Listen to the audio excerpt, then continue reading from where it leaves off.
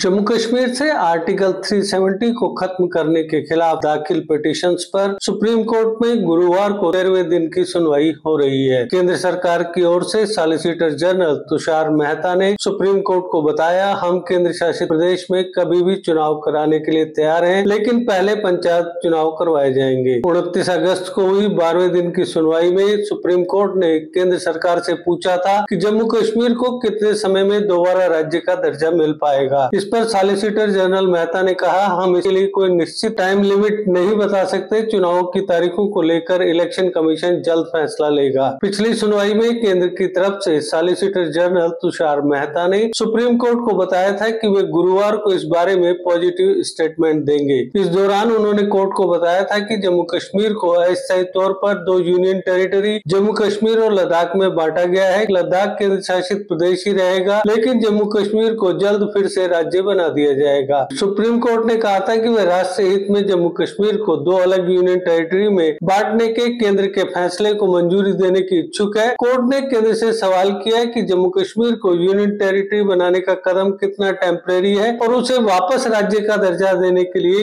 क्या time limit सोच रखी है इसकी जानकारी दे ये भी बताए कि वहाँ चुनाव कब कराए जाएंगे इसके जवाब में आज सॉलिसिटर जनरल तुषार मेहता ने कहा कि जल्द ही जम्मू कश्मीर में चुनाव कराए जाएंगे लेकिन इससे पहले पंचायत चुनाव कराए जाएंगे